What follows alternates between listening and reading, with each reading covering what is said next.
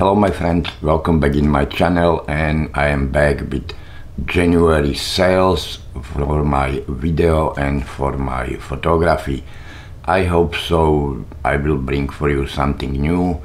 And in beginning I have to say it's not really good month but if you are in stock photography and videography business you definitely must know that January is one from the worst months not just for photography, video, but it was really bad month for any other business. Just take a look what will what this month bring for me. The best for this month for me it's definitely mm, no name agency, you know which agency I mean. The number two it's Adobe Stock, what I really love it because it's growing up for me and surprisingly my number three sellers was uh, 123 royalty free agency what is really very surprise for me.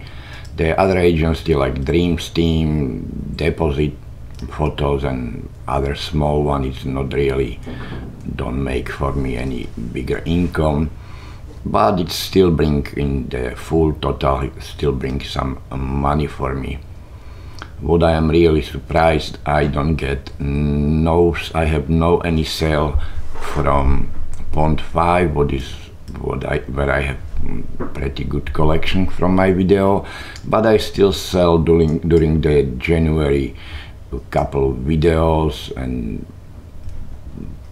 this can help me a little bit survive for January.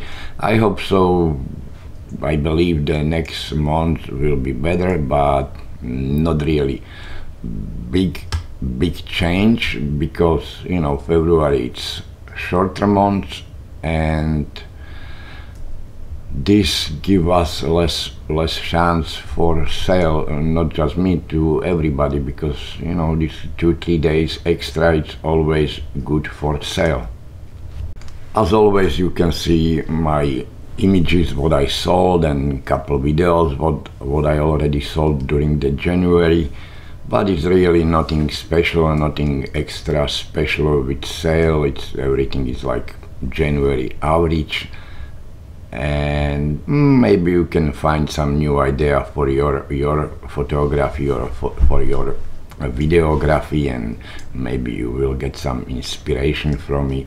I wish you know you have I, I hope so. This can help anybody, you know, with some new ideas.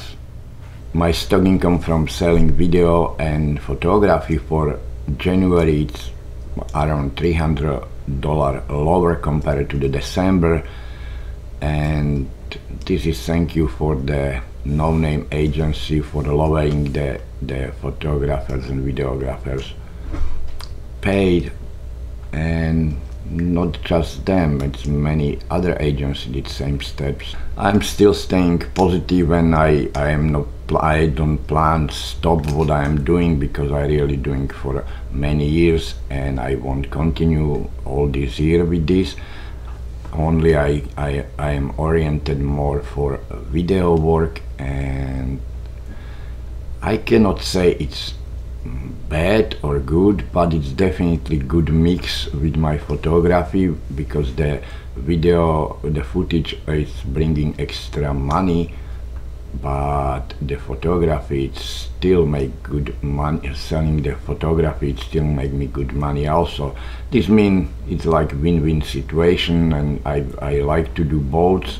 If it's possible if it's not possible I will concentrate only for photography or for for footage. It's, it really depends on what I am shooting. I did couple winter project during January, you know, because we have some we have snowstorm in United States on East Coast, and I try cover this for the news. I did couple outside videos and for and video and photography, and I try be prepared for next coming holidays what is really it's it was uh, Valentine's Day. And not really too much to talk about the January sale. This is why my video is, is pretty short for this month. And I hope so the next one will be a little bit better. And I will bring you some other videos from other projects. Thank you for watching and I really appreciate you watching this channel and you following me and I hope so I will bring much more video for you this year and I will try bring you some new ideas about what you can do and how you can do. Thank you very much and see you in next episode.